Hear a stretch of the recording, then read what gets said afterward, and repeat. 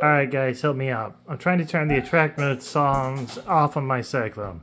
I'm in setting number 48. I hit the start button. Nothing happens. I can start a game like I normally should. So you got the coin door buttons.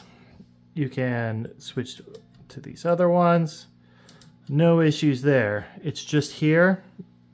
Can't do it. Can't do it. Can't do it. What was that? Is number 48. Now here's where it gets goofy. If I go up to, what was it? The music test, and I push the start button, it works for cycling through things. I'm just wondering if I'm doing something wrong on my settings.